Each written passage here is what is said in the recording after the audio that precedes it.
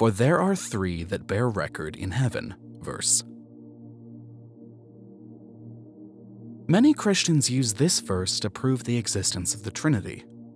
For there are three that bear witness in heaven the Father, the Word, and the Holy Spirit, and these three are one. 1 John chapter 5 verse 7.